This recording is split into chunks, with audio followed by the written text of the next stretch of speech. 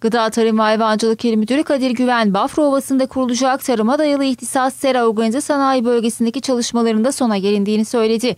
Güven, bundan sonraki sürecin alanın parsellere ayrılması ve yatırımların gerçekleşmesiyle devam edeceğini ifade etti. Bu alan 1200 dekarlık bir alan. Ee, Burada e, tamamen e, topraksız kültür, topraklı kültür, e, fidecilik, kesme çiçek, farklı sera ile ilgili tüm efendim faaliyetlerin yer alacağı, seracılık faaliyetlerinin içinde olacağı ve toplu bir belki Türkiye'de şu anda e, bu tür bir organize e, olmuş bir sera bölgesinin de değerli toplu e, burada olacağı bir ilk olacak.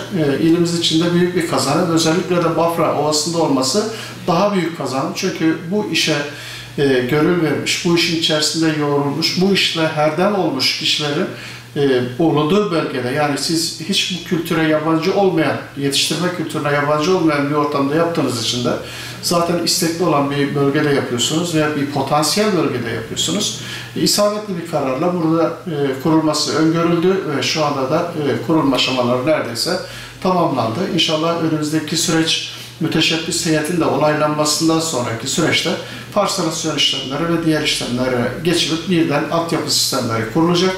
Akabinde de parsel tahsislerinden sonra da müteşebbislere e, belirlenip dağıtılıp ondan sonra da yatırımlar ile ilgili faaliyetlere başlanılmış olacaktır.